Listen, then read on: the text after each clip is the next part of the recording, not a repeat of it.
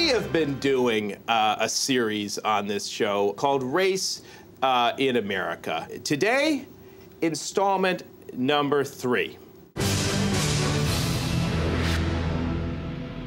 Let me begin um, with you, Jerry Lang. How important is it that we have this sort of discussion about race in America? I, I think it's the single most important uh, topic that uh, this country needs to, to discuss, and we have been we have been cowards as a nation. We've been cowards about facing up to it, which is why I think uh, the first two parts of this series are so important. And uh, I'm I, I'm really proud of what we're doing on the show. It's so important that that we've got it on the table, that it's up on the board. It's it's the subject, as Jerry said. I'm I'm white. Okay, by any by any definition, I'm about as white as you can get. I couldn't agree more. And is it am I the ideal person to lead a conversation about race? well, you're good In this frank way white- that we're doing for the now. white side. You'd be go- great. Right. Well, I mean that's why it's important that we're having the talk here with a, a mixture of people. I am English with a little bit of Scandinavian, which uh, right. uh, you know p- probably gives me a slightly different perspective, and. Uh, quarter Scottish, uh, eighth Knickerbocker Dutch, mostly English. Okay, so from again from a whole nother quadrant. yeah. I know I do have some Flemish. From the, the French speaking area of Belgium. I don't know. I just know it's that's Flemish. where it is. Yeah, mixed with um, some Italian. So you bring, I'll just say it, some Southern European biases and prejudices. Um, and Norm, uh, Well, uh, funny you should ask, because I'm. Guess I can bring a different perspective than everybody else here. I actually had a DNA test done. Turns out that, uh, you know, of course, I come from uh, Eastern European uh, Jewish descent. Uh-huh. Turns out that I go back to Genghis Khan.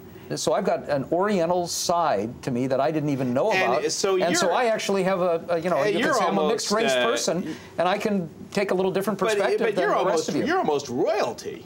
You're descended from Genghis Khan. I mean, when you're applying to one of those country clubs down in uh, down in the D.C. area, I know there's some some very nice ones that still um, are very restrictive. Do you, do you bring up the Genghis Khan thing? Uh, it depends on which club you're talking about. Uh, But you know, I, I, I, if I were going to join uh, one of the country clubs there, it would be one of the Jewish country clubs, and I'm not Uh-huh. sure. Uh, uh, actually, And they, don't let any black you know people what? in. The research shows- nobody, and they've and they've got everything at those Jewish clubs, as I understand it. They've got everything. It's just a little bit better than at the Gentile clubs. Yeah, Is that the- how it works? Uh, that's generally the case. This could be a nine or ten part topic. So, so here's where we find ourselves. Uh, it's 2010. Uh, we have a black president.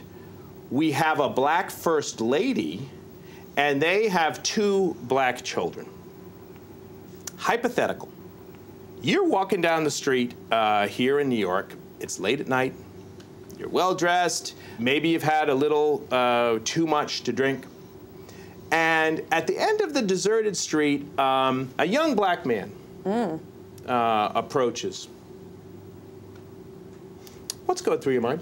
Well, uh, two years ago, uh, you may get a little frightened, a little. Uh, uh, n- now we'd have to say it could be um, the president of the United States. It could be the president. But the exactly. odds- Does that frankly, change the your odds perception? Are, are very remote, but it could be. well, it is. It is bracing. Uh, I think when uh, this taboo subject uh, gets an airing of the sort that we're giving it here today. A uh, that, that, uh, let me let me just gets an airing of the sort that we, the, people, people, yes. are giving it here today. Norman. Well, I don't want to tread on the experts area, Linda's area, but you know, it shouldn't be just us talking about this. You've got these Twitters and tweets going on. Every viewer ought to be tweeting about this subject because how better to get a real deep and textured understanding than using Twitter? We've got to keep talking about it. Talking about it is, it's almost more important than doing anything. Uh, to just keep talking and talking and talking until And uh, the problem goes away. Yeah. And tweeting. And Get talking. the words out.